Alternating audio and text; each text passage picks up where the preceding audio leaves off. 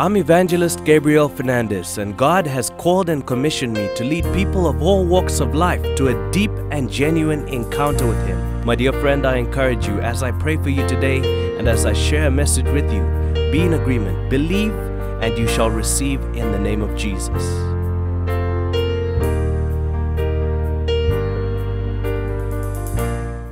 Hello to you, my dear friend. It's Evangelist Gabriel Fernandes here, and I greet you in the name of Jesus. It is so good to be with you today. It is a brand new week that God has given us, and by the grace of God, we will keep on going. It will be a good week by the grace of God. In God alone do we trust, in God alone do we put our hope, because we know as we put our hope in God, as we put our trust in God, we shall never be disappointed. Now, as I've been seeking the Lord, the Lord has given me a word to share with you, and I trust and believe that as I share this word with you, it's going to bless you and it's going to take you to a greater glory. So, without any further delay, my dear friend, let's get into it. Let us begin. It's time to move into a new season of resting in God. Stop trying so hard in your own strength and wearing yourself out, and just surrender to God. Take it as God gives it to you. Let God be your pacemaker. Do not worry, do not be discouraged. Allow Him to be God in your life. Be rest assured that God will not let your life be ruined. He will not leave you helpless. He will not let anything or any situation destroy you, but rather He will protect you. Rely on God, my dear friend. Rely on Him, trust in Him, and He will see you through. He will take you safely through every situation that you go through, and you will come out on the other side. Trust Him in humility, knowing that He will see you through. Rest in Him and preserve your strength. Allow Him to take you through. Follow His lead. My dear friend, even as I received this word, the Lord led me to two verses. They form the same psalm, and I'm going to read to you from the ISV version, Psalm 62, verse 1 and 2. This is what it says It says, My soul rests quietly only when it looks to God.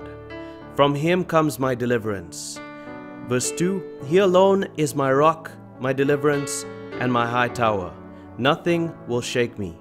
Now, there are a few elements that I want to share with you in these two verses. First of all, my dear friend, you will find rest and you will find peace as you set your focus onto God, as you look to God.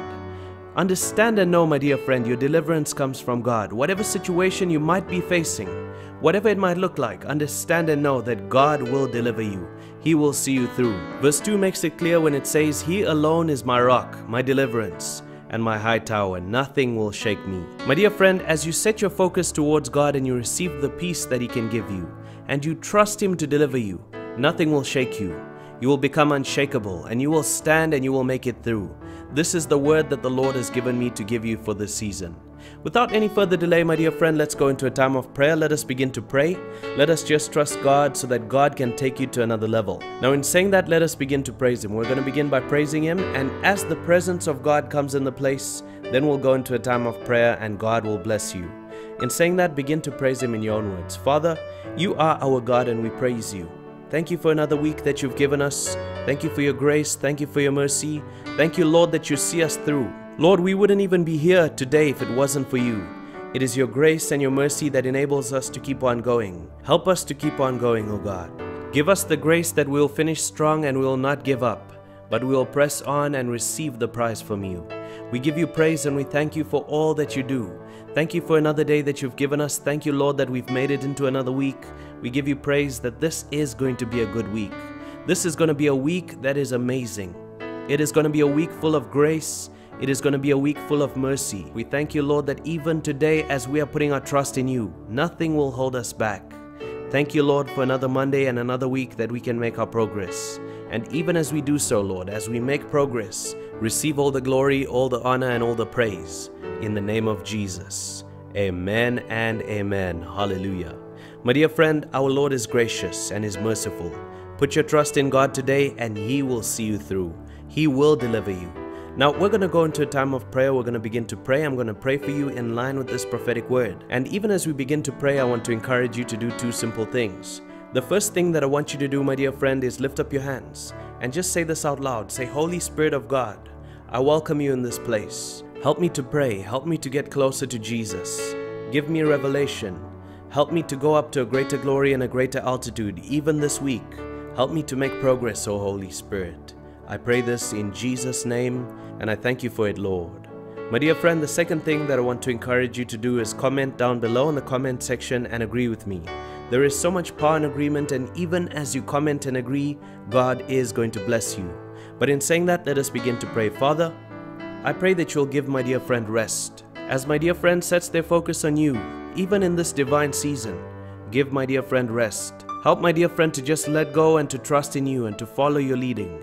Father, I pray today that you will be the pacemaker of my dear friend.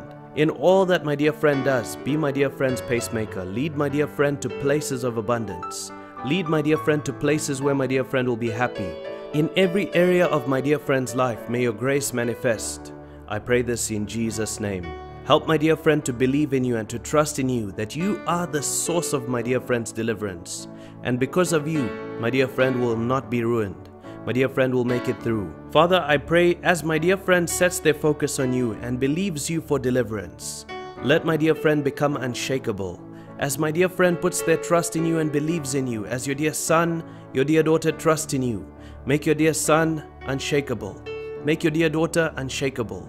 Touch and change my dear friend's life. I pray this in Jesus' name. And give my dear friend rest.